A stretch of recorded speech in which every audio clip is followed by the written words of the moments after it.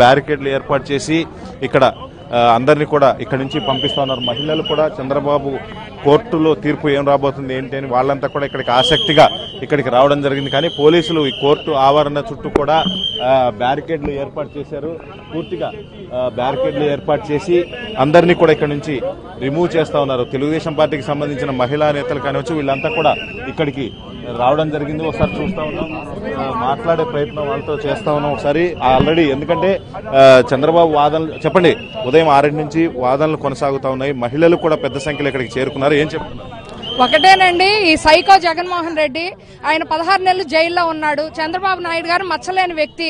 అలాంటి మచ్చలేని వ్యక్తికి మచ్చ అనేది పుయ్యాలి అని స్కిల్ డెవలప్మెంట్ దాని మీద కేసులు పుటప్ చేసి ఈ రోజు రిమాండ్ తీసుకెళ్ళేటువంటి సందర్భం రెండు రోజుల నుంచి చూస్తున్నాం. డెబ్బై నాలుగు సంవత్సరాల వయసు ఉండి ఆయన ఒక క్రమశిక్షణ కలిగిన నాయకుడు. స్కిల్ డెవలప్మెంట్ దాంట్లోనే ఫ్రాడ్ చేయాలన్నటువంటి పరిస్థితి ఏనాడు కూడా చంద్రబాబు నాయుడు గారు చేయరు. ఎందుకంటే ఈ రోజు ఒక అమరావతి భూములే తీసుకుందాం ఔటర్ రింగ్ రోడ్ తీసుకుందాం అలాగే ఆ, స్కిల్ డెవలప్మెంట్ దాని మీద అనేక దాని మీద నాలుగున్నర సంవత్సరాల నుంచి లేనటువంటి కేసుల్ని ఈ రోజు కొత్తగా స్కిల్ డెవలప్మెంట్ అంటూ కొత్తగా తెరలేపారు. ఈ రోజు తొంభై నాలుగు లక్షల మందికి కూడా ఉద్యోగ అవకాశాలు కల్పించి ఒక విజనరీ ఉన్న నాయకుడు ఏ రోజు కూడా పద్నాలుగు సంవత్సరాలు ముఖ్యమంత్రిగా ఉండి తొమ్మిది సంవత్సరాలు ప్రతిపక్షంలో ఉండి కూడా క్రమశిక్షణ కలిగి తెలుగుదేశం పార్టీకి దిశానిర్దేశం చేస్తూ ప్రపంచ స్థాయిలో కూడా మంచి పేరు తెలుసుకున్న నాయకుడిని నాకు చెడ్డ పేరు వచ్చింది. నేను జైల్లో ఉన్నాను.